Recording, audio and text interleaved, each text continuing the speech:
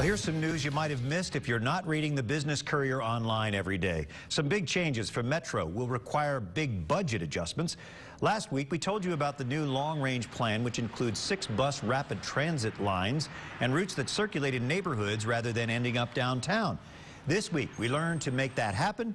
The additional cost would be up to $80 million a year, a two-thirds increase to the current Metro budget. Metro's current operations and capital budget is $118 million, the bulk of which comes from a 0.3% city income tax and fares. Metro is calling the figures extremely preliminary.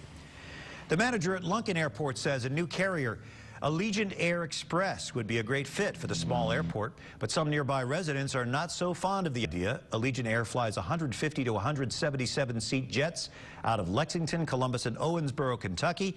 Its bigger planes bring a little more noise and an increase in commercial service traffic. An Allegiant spokesperson acknowledges there is interest in Lunken, but at this point, nothing is definite.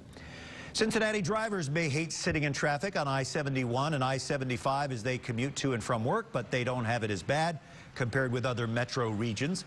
Cincinnati was the 48th most congested metro area in North America, with drivers wasting nearly 11 hours a year sitting in traffic, according to a recent survey.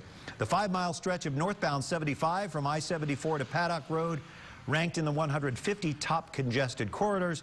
It took drivers 12 minutes at an average speed of 25 miles an hour to get through that stretch. It should take about seven minutes with good conditions. LA drivers face the worst conditions in North America. They wasted 60 hours a year parked in traffic.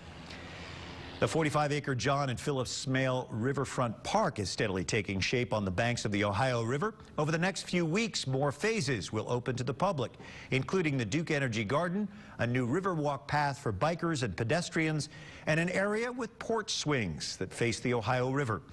The $120 million project will be fully finished in 2017. You can check on its progress through some beautiful photos by visiting our website for a slideshow by photographer Bruce Crippen.